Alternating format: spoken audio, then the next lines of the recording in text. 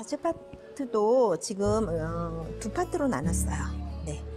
전체적으로 세 파트로 나눠서 하지만 그 중에 또 좌측 파트도 세 파트로 나누셔서 하시면 되겠습니다. 자, 이번엔 19mm로 한번 해볼게요. 19mm하고 22mm로 믹스할 거예요. 자, 19mm로 수분 한번 날려주시고요. 자, 빗을 아이롱에 딱 붙이세요. 하나, 둘, 셋, 넷, 다섯. 천천히, 그러니까 첫 뜸은 아니에요. 이 부분이 건조돼야 머리카락과 빗 사이로 어, 머리카락이 잘 빠져나와요. 강제로 돌리려고 하지 마시고요. 이렇게 천천히 돌려주세요. 네, 이렇게 하니까 자연스럽게 올라오죠? 네. 자, 어머, 이제 끝이 다 들어갔네요. 연예인 덮개를 덮어주시고요. 하나, 둘, 셋, 넷, 다섯. 살짝 다려주세요. 자, 이 상태에서 손잡이. 이 손잡이만 이렇게 살짝 돌려주시는 거예요. 하나, 둘, 셋, 넷, 다섯. 살짝 다려주시고요. 이 상태에서 한 번만 더 돌릴까요?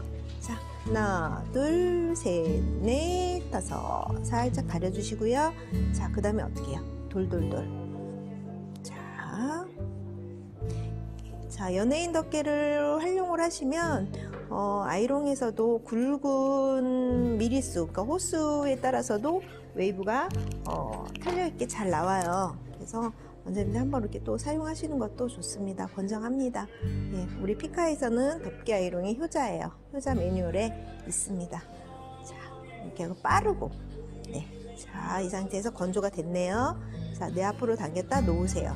이렇게 빼시면 되겠습니다. 자, 위에 부분은 제가 어, 22mm로 하겠습니다. 빗질 곱게 해주시고요. 자, 살짝 수분 한번 날려주시고요. 자, 이 상태에서도 또 딱 붙이세요. 자, 자, 수분이 다 어느 정도, 이야, 그죠? 잘 올라오죠? 쭉쭉쭉. 네, 이렇게 하시는 거예요. 너무 쉽죠? 어, 피카의 아이롱 굉장히 쉽게 누구나 초보자들이 어느 분이라도 다 할 수 있어요.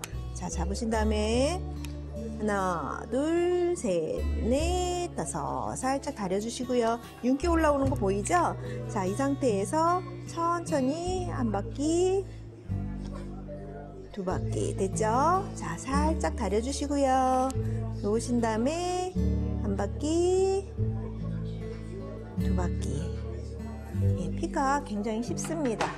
네, 이렇게 해서 하시고, 자, 이제 어떻게 해요? 수분이, 피카는 봉이 길잖아요. 예, 열의 면적을 이용해서, 오, 벌써 다 떨어졌습니다. 네, 아이롱에서 건조가 되면 머리카락이 아이롱에서 똑 떨어져요. 그래서, 자, 이 상태에서 어떻게 해요? 내 앞으로 당겼다 놓으세요. 이렇게 빼주시면 되겠습니다. 우측으로 넘어가겠습니다. 자, 마지막 판넬입니다. 자, 수분이 건조가 됐어요. 그러면 피카에 있는 폴리를 한번 이렇게 살짝 분사해 주세요. 그러시고요. 자, 저는 맨 마지막에는 음, 19mm로 하겠습니다. 자, 19mm하고 22mm 믹스해서 했는데 이 맨 마지막 판넬은 19mm로 한번 해볼게요. 자, 그래서 자 올라오네요. 그죠? 어, 피카 연예인 덮개가 있으면서 너무 재밌게 어, 작업을 할 수가 있습니다. 네. 자, 자, 요 빠진 거는 그냥 신경 쓰지 마시고요. 자, 자 놓으신 다음에 어떻게 해요? 돌돌돌이에요.